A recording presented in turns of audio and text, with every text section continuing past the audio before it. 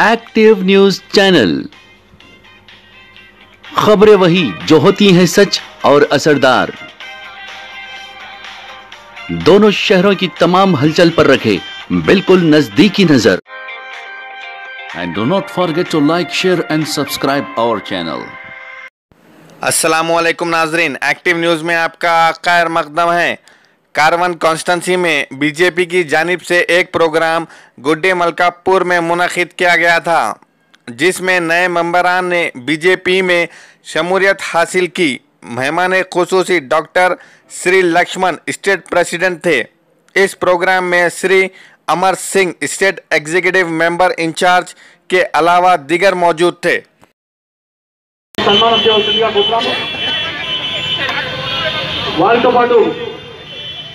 శ్రీ గౌతమ్జీ గారికి.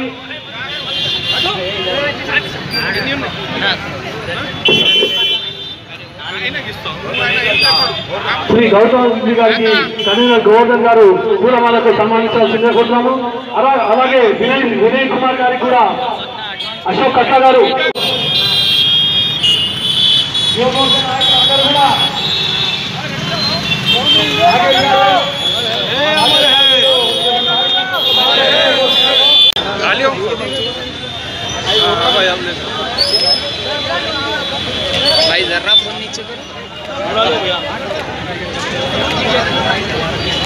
దీనికి మన హైదరాబాద్లో తెలంగాణలో అమిత్ షా గారి నాయకత్వంలో మన యొక్క తెలంగాణలో श्री डॉक्टर लक्ष्मण जी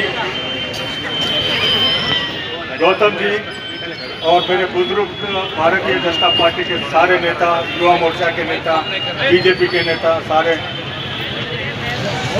जनता पार्टी की तरफ़ से शुभकामनाएँ जो आज हम यहाँ मेंबरशिप के लिए यहाँ पे जमा हुए भाइयों, लक्ष्मण जी की, लक्ष्मण जी की सदारत में तेलंगाना में भारतीय जनता पार्टी एक नई आशा, नई उमंग की ओर अग्रसर होते चले जा रही है।